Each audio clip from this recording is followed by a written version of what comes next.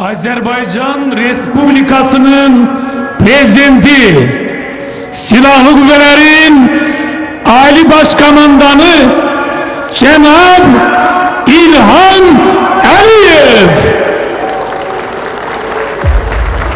Türkiye Respublikası'nın prezidenti Cenab Recep Tayyip Erdoğan.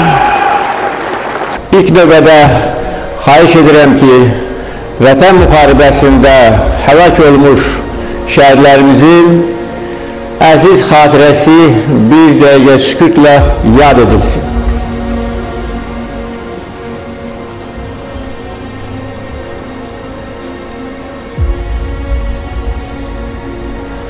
Allah bütün şəhərlərimizə rəhmət eləsin. Bugün tarihi bir gündür.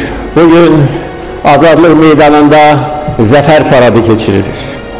Mən çox şadam ki, bu paradda mənim dəvətimi qəbul edərək Türkiyə Cumhuriyyətinin Cumhurbaşqanı əziz qardaşım Rəcəb Tayyip Erdoğan iştirak edir.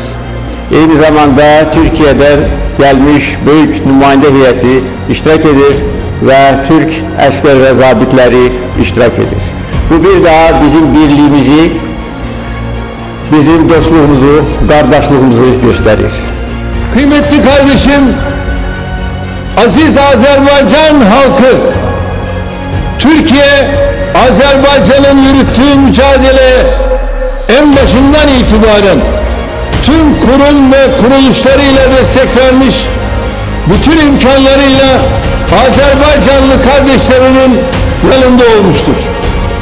Türkiye olarak Azerbaycan'la münasebetlerimizde kendimize her zaman büyük lider Heydar Aliyev'in iki devlet tek millet şiarını rehber aldık.